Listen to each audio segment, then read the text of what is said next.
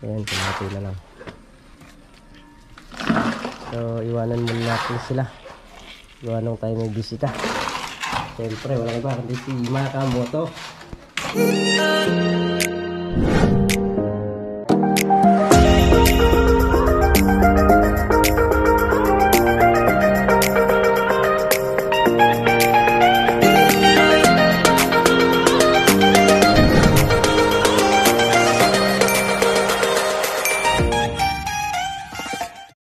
So yun, good morning mga katraps. Ngayong araw po, ah, naggagayak po sila ng panghalo. Gagamitin po sa ah, hagdanan.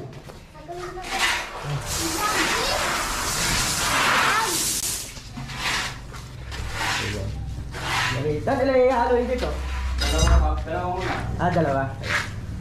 So bali dalawa po yung nakahalo. At mamaya po, pupormahan yung ating ano, CR. Ayan, ito po yung sa hagdanan. Ayan. Lalagyan natin ng tubig mga katrops. Oh, may tubig tayo rito.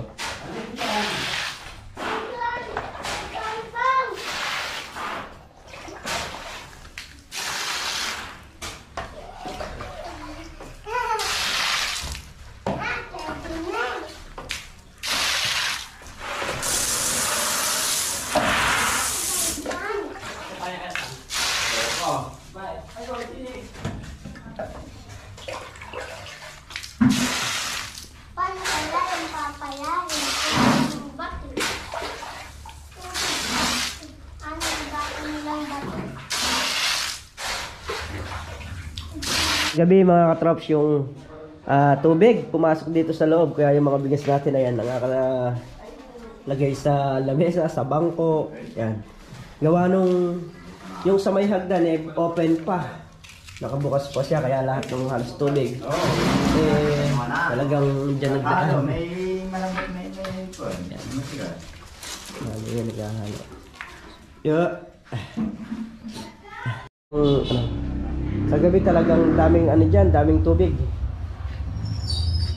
Sobra, lakas ng ulang kagabi.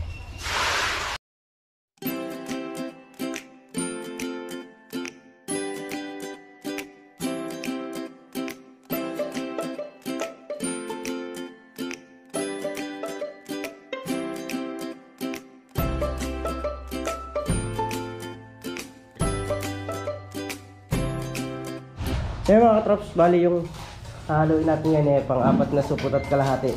Kanina lang dalawa at kalahati. So ngayon maghahalo tayo ng dalawa. Isa, dalawa. So bali, dito pa lang tayo. Ayan o, isa, dalawa, tatlo sa kanyang landing.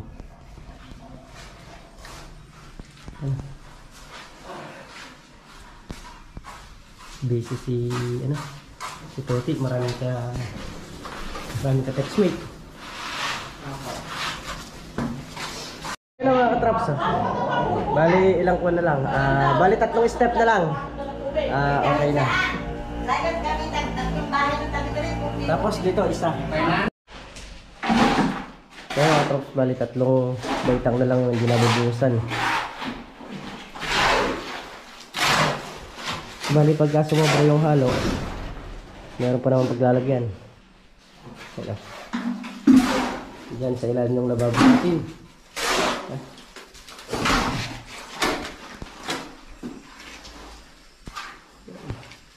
Ano nagbubuo sa taas?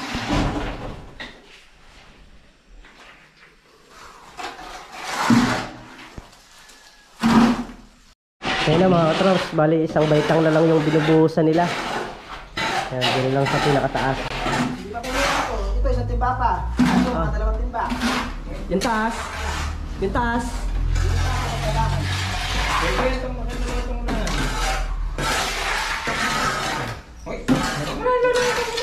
Boundary oh! Isang timbang halo, isang timbang halo, dalawang timba. Dalawang ano. Anim na! Ano na halo? Yung halo na. Anim na halo na. Ano na halo? Hindi yung puro ano. Kalahati no? Kalahati. Kalahati po. Ha? Kalahati. No, si parang HB. Kaya pag ako, pre. Yung hagdan. Bali, binigyan niya tayo ng ano, pang merienda. Oh. Paprox lang, saka lang. Wala pa merienda. Pre, na, na, nalipasan ka na, tapos na. Ah, tapos na. Oo. Yan. Oh, sige. Pal paluto na rin. Paluto na. So, ayan. Tingnan niyo po yung ating graba. Halos. Nagit ka natin na ubos. Ito sa in-order natin. Hangan natin. Ayan. Para naman dito sa CRP natin yan. Init na naman ng panahon mga katraps. Yan o. Tapos pagdating ng hapon, umuulan. Ah, ang sakit kong makukuha niya na sipon. Yan. So hindi na po namin ginamit yung mixer ha. Saka kasi po walang ano, mixing board. Saka po papahirapan lang kami dyan sa loob. Eh, yun po kasi na ikagayang na namin sa loob yung halo. Tapos nakatutok na rin po doon. So yun po po simento. Meron po po tayong 2, 4, 5. 2, 4, 5. 15, 16. Yan. Para po dun sa CR yan. Sa likod. So yung mga traps, bali pang anim at kalahati natin yan. Tingnan nyo po mga traps, sagdanan lang yung binuhusan ha. So paano kung malaki pa kaya? Ayun po. Kaya, kaya yung pagpapagawa po ng bahay eh, hindi basta-basta. Lalo na po sa ngayon na sa mahal ng materyales. Dalawa, tatlo. So yung halagang kung may 10,000 ka talagang konting gamit lang ang mabibili mo. Pero sa isang banda, kung gusto mo talaga magpatayo ng bahay, ganun, meron pa halaga 10,000 na buwan-buwan dumarating sa'yo, pwede mo siyang ibili ng gamit yung hindi masisira. Gaya ng mga bakal, yan, pwede ka mag-stock ng bakal, ng hollow blocks. Ang iyong huli mong i-stock dyan mga katraps yung semento. Kasi yung semento, ah, posibilidad na tumigas pagka matagal.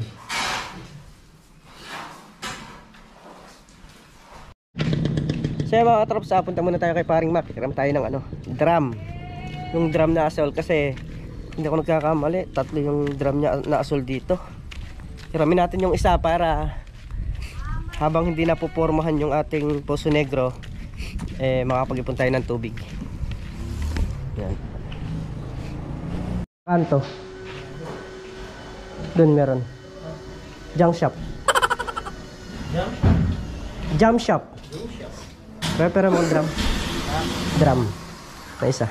Parang siya tumulog, George. Bago ko isara eh pag-iipunan ko muna. Mga trops, ah, dito na sa bahay. Matatapos na rito yan. Kaya hali. Ilang bait ang patot? Ah, nagpupuno na lang sa mga kulang. Sabi yan pa yan. Nakapagbuhos pa tayo ng ilalim yung lababo. Yung isa nabuhusan natin. Yung pang isa. Tapos malili, inaayos na lang yung mga step. Irurugay ka ng mga pag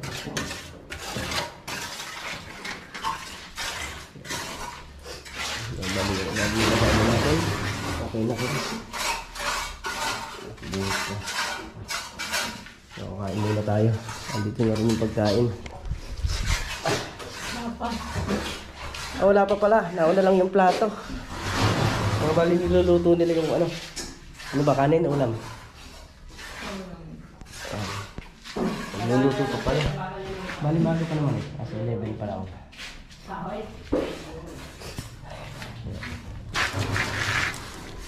Alis natin po sa hagdanan.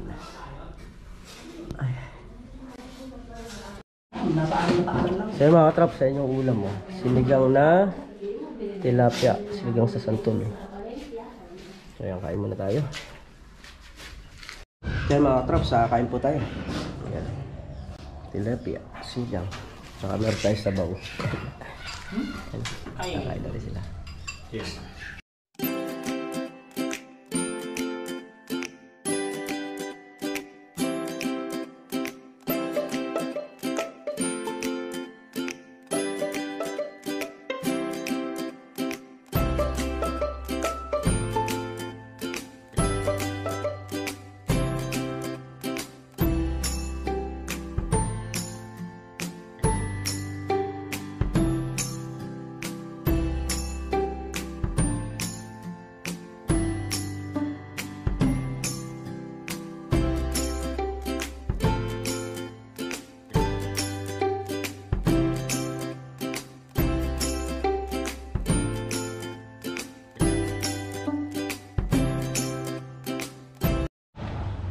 Ayan mga katrops, bali binuli na natin. Sobrang init sa taas. Oh. Ayan. Bababa na tayo para tayo naman eh lalamigan. Ay! Ayan, okay na yan. Isang bite lang na lang po yung wala niyan. Yung nandito.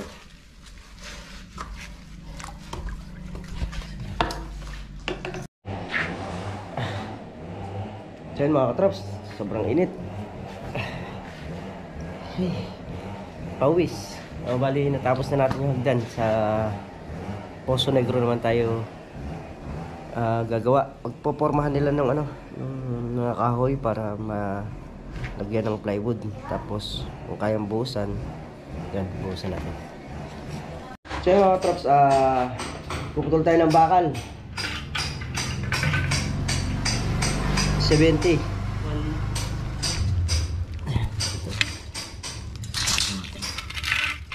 Props. Bali gagamitin yan dun sa CR. So yung pahalang naman ang puputulin. Ayan, bali sinusukatan lang po nila ng bakal.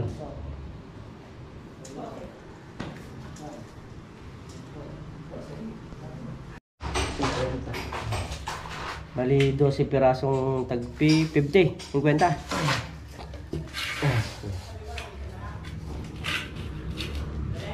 Oh, yung isa. sabi ng isa.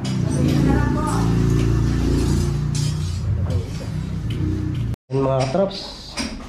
Bali, alauna medyo na ng hapon. So yung mga traps, bali yung tubo na ditres, dadalhin natin doon para maabangan yung ating poso negro. Yan o. Tapos kuha tayo ng elbong didos para sa tubig. So yung mga traps, bali pupunta muna ako ng hardware ah, para tumingin ng ano, ah, isang doorknob para po dun sa ating pintuan. Bali, pauwi na tayo mga katraps. Ah, ayun na yung doorknob natin. So, dadaan lang tayo ng bakery para maibilin natin sila ng merienda. So, yan, dito na po tayo sa bakery. So, dito na mga katraps. Ano yung ating pinapay. Ah, let's go na tayo para sa bahay naman. Para yung doorknob eh, mailagay ko. Ayun po, ah, dito na po tayo sa bahay. Boss, saan? Boss. Ah, binubuhusan na nila yung ating ano, poso negro. Sa babaw. Ayan. So mga traps yung isang doorknob na binili natin kanina ito. Ilalagay natin dito sa bungan para mas magandang klase kasi ito kaysa dun sa nauna.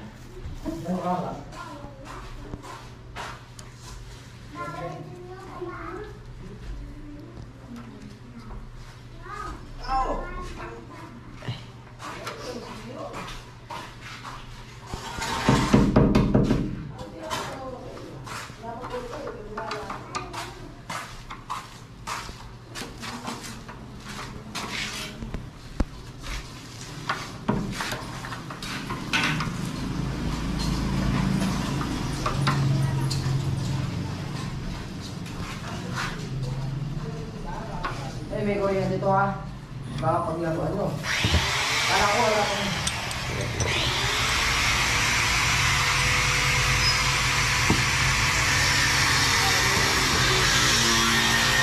Paano? Ayun mga trucks, bali. Nagbubuhos na sila no. Susupot ka. Na? Kalahati. Ayan, kalahati na lang. So, iwanan muna natin sila. Iwanan tayo may bisita. Siyempre, walang iba kundi si Makamoto. Yan, lagyan natin yung doorknob mga katrops. Kasi yan, pag nilak mo, kailangan sa loob mo bubuksan. Kasi hindi nabubuksan sa labas, kahit may susi ka. So mga katrops, bali yung ating ah, flooring ng Poso Negro eh tapos na. At yung mga tubo natin nakaabang na rin. Yan. Ah, abang na rin. Bali yung sa may tubig niyan magtutugma-tugma yan pati ito. Isang PVC lang po ang gagilingin natin yan. Ayan, bali bukas ang nangyayari niyan puro asinta. Sila asinta po sila. Kung ating ano, ayan na. Okay na. Ano yan sa alpa? Ah. so yun mga traps, ah, magkakape muna tayo. Wala. May mga bisita tayo sa harap. Ayan na. Ayan na, nagtago. Mga traps, ayun na. Yeah. Yeah. Oh, flying kiss mo raw sila. Flying kiss mo raw sila. Ay, busy. Ayun. Oh, hi ka raw sa kanila. Hi. Hi mga katrops. Ayun. So yun mga katrops, bali mamaya pagtigas, ah, bubulihin na lang po natin yan. So andyan na po yung mga tubo natin, nakaabang na. So yan. Dito po tayo sa likod ngayon. Raptor na naman. Nakalampas na naman ang maghapon mga katrops. So dito na lamang po ang ating video. At maraming maraming salamat po sa walang sawa niyo suporta sa Tropang Bukid, syempre. Ingat po kayo palagi saan man po kayo naroroon. Salamat po ah, sa lahat. Gabi po.